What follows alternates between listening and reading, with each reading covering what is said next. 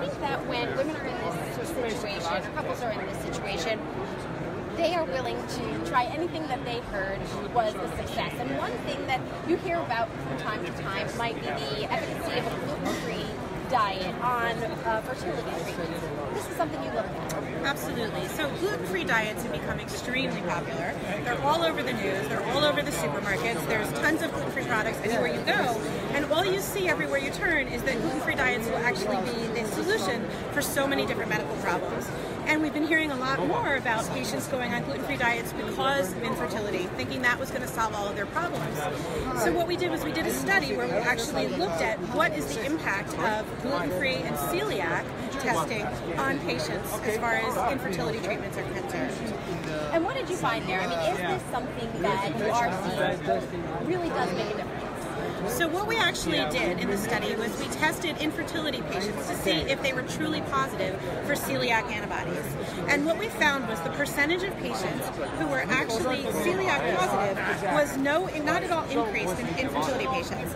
Ultimately, you had just same risk of being celiac positive if you were infertile as if you were not infertile in the general population. So really, it pretty much told us that there's no higher rate of celiac patients in the infertile group. So having celiac does not necessarily mean there's going to, you're going to have problems with fertility. No, actually, um, we, we don't really know how they go back and forth. What we do know is having infertility doesn't increase your risk for being celiac. I see. Okay. So does the gluten-free diet, though, if I, whether or not I am uh, testing for celiac disease, but if I heard my friend who was trying for five years and then she went on a gluten-free diet and then she got pregnant, is that something then that I should try? Well, that was great for her, and we're thrilled. But what we do know from the data is that patients who were self-reporting being on a gluten-free diet had no higher rates of success than patients, same infertility patients, who were not on a gluten-free diet.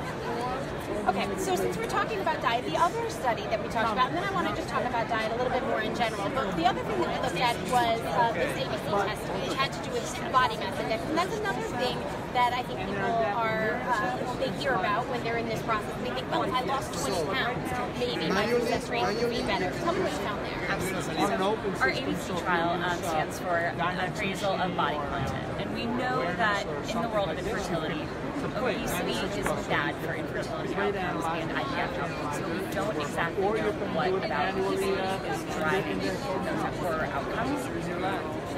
Over Overmore, we noticed that BMI is not the greatest way to look at obesity. It holds men and women to the same standard. It makes who are very um, you know, lean and built with a lot of muscle fall into a higher risk category because it makes them seem overweight. So we decided to investigate this a little bit more closely by looking at people's obesity percentage of body fat. So we had people um, actually get on this you know, machine that looks at the amount of water content in different areas of the body, and it calculates what's called bioimpedance um, analysis, and it puts people into different categories of obesity based on their percentage of body fat as opposed to their And what we found is that when you look at obesity using percentage of there are people that fall into what we call mismatch groups. So there are people that have normal BMI but actually increase percentage body fat, and there are people that have elevated BMI that have normal percentage body fat. Found is that a lot of the people that are sort of overlooked by having a normal BMI but have an elevated percentage body fat actually have poor IVF outcomes, and we found that men specifically, um, I think sometimes get a little bit ignored in the fertility workup, um, the men with normal BMI and increased percent body fat had poor fertilization rates and poor. I was actually going to ask that, as we're having this conversation, is are these, are we specifically talking about woman here, whether the woman is on a gluten-free diet or, or the woman has celiac, the woman has a body mass index, but it also has to do with the male as well? Absolutely. So we looked at both men and women um, undergoing IVF in our study, and we found that obesity and elevated percentage of body fat in both partners um, is not helpful. So is that something you can learn on your own, that, you know, what your percentage of body fat is, or is it something that you now are going to be incorporating into what you're doing at the clinic? Well, we know that um, that BMI is a pretty good marker, you know, kind of for an initial evaluation, but that there is a select population you know, maybe has a normal weight or maybe is on the borderline of normal and overweight. And those patients might be the ones that are identified with these percentage of body fat issues. Um, you know, our center has this um, InBody bioelectric impedance analysis machine. Not every fertility center does, but it is something that we can offer to our patients for a potentially closer look. And then what can they do with that? I mean, if they fall into this category where their BMI is good, but their percentage of body fat might be a little elevated. Right. So then we would definitely recommend, you know, lifestyle interventions, maybe meeting with a nutritionist to kind of offer various suggestions and options for decreasing their adipose. We have nutritionists at our, at our center.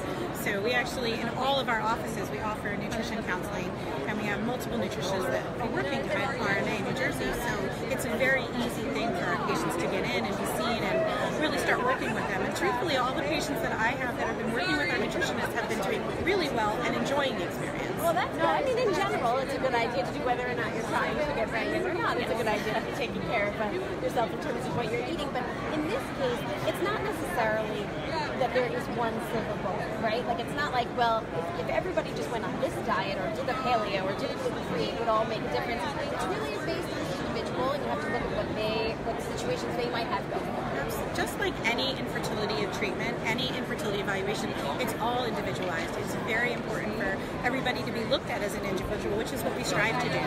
And you know, there is no easy fix. There is no one answer. Um, you know, the ideas of changing some of these diets, they can always be helpful as far as lowering body fat, lowering your BMI, getting you to a good ideal body weight and body fat index. Um, but you know, there's no one right way for anybody. So when I, if you're out there, you know, and you have a friend who says, "Oh, I, I couldn't, I didn't have success for five years, and then I tried this and it worked," what would you say to the patient who comes to you with a story like this? Should they try that thing? Well, I would say that's terrific for that person, but everybody's story is different. Let's figure out what your story is and what we can do towards your goal. It may be something that will be helpful for you, it may not, but you can't just say just because. You know, we've done this trials, we don't want to do just ideas and opinions, we're trying to use the data. So with the data, we're not going to go ahead and say, yep, everyone should be on a gluten-free diet, nobody should eat pizza ever again. What the data's trying to tell us is that right now we know for a general population it's really not helpful for infertility change our difference in outcome. But, you know, there could definitely be some select people that may benefit from that, and that's what you work with your doctor. Let me ask you about the conference in general. Have you seen anything or learned anything that's been very exciting for you here? It's definitely just getting underway. There's a lot of really great talks. I've got a list a mile long of all the rooms I want to hit in the next, you know, six hours of the meeting. But these meetings are fantastic. It pulls together thousands of people in order to be able to just bring so many different ideas from multiple different countries, many different countries, that it's really it's it's it's an amazing event. Absolutely, I second that. As someone kind of on the early beginning side of my career, there's just so much at this conference, um, different perspectives, and really fantastic speakers from all around.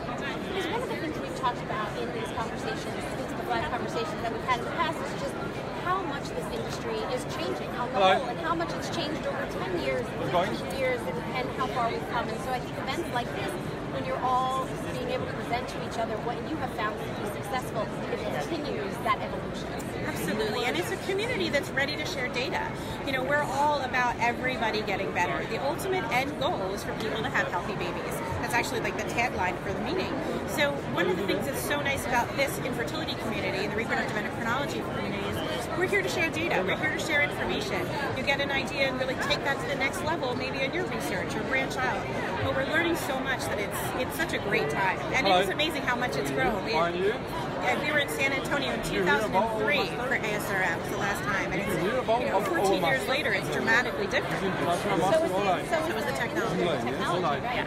To kind of to second that and to demonstrate how far the field has come, um, I was on my fellowship interviews for REI earlier this year, and I actually was interviewed by the infertility specialist that my parents went to when I was born, and he was joking around with me how much more there is to offer now. and compared to today. Yeah.